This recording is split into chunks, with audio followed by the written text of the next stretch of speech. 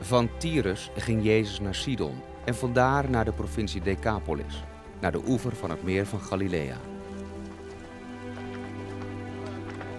Daar werd een dove man bij hem gebracht, die ook nauwelijks kon praten. De mensen vroegen Jezus of hij zijn hand op deze man wilde leggen om hem te genezen.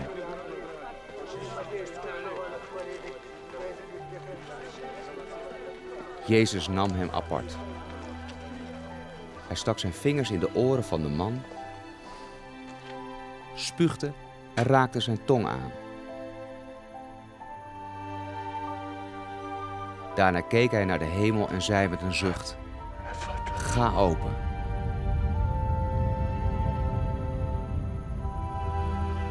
De man kon ineens goed horen en spreken.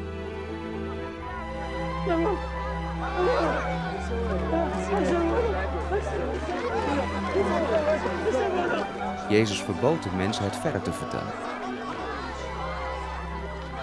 Maar hoe meer hij dat zei, hoe meer de mensen het rondbazuinden. Ze konden er gewoon niet over zwijgen. Het is geweldig wat hij doet, zeiden ze. Hij geneest zelfs dove mensen. En wie niet kunnen praten, geneest hij ook.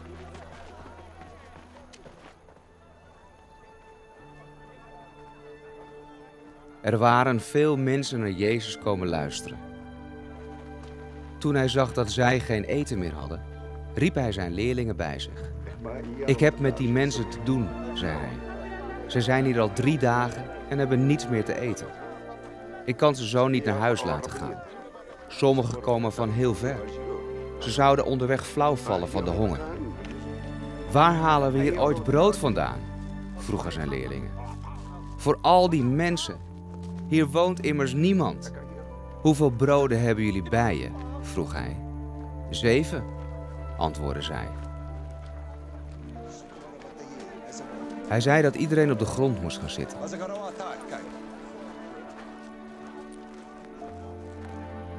Daarna nam hij de zeven broden, dankte God ervoor en brak ze in stukken.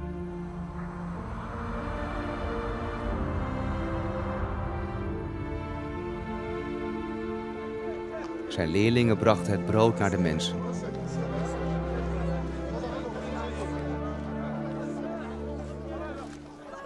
Er waren ook nog een paar visjes.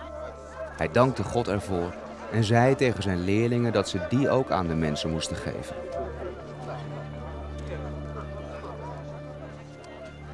Iedereen at tot hij genoeg had.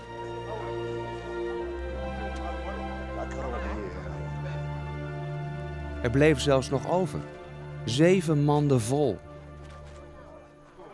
En er waren wel zo'n 4000 mensen. Jezus stuurde de mensen naar huis. Direct daarna stapte hij met zijn leerlingen in de boot en stak over naar Dalmanuta. Er kwamen fariseeën naar Jezus toe en gingen met hem in debat. Kunt u God laten bewijzen dat hij u heeft gestuurd? Vroegen zij. Zij wilden hem op de proef stellen. Met een diepe zucht zei Jezus: Waarom wilt u een bewijs hebben? Dat krijgt u niet. Hij draaide zich om en liet hen staan. Hij stapte in de boot en ging naar de overkant van het meer.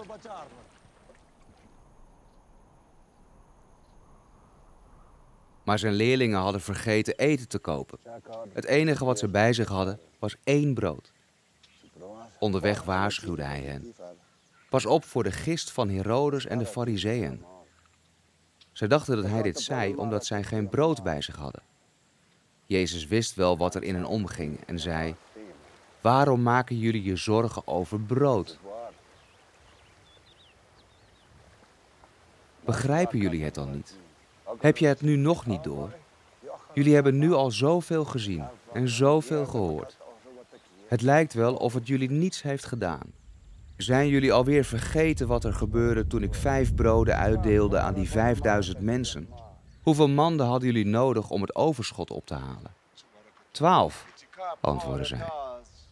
En toen ik zeven broden aan die vierduizend mensen gaf, hoeveel bleef er toen over? Zeven manden, was hun antwoord. Jezus zei: Begrijpen jullie het nu nog niet?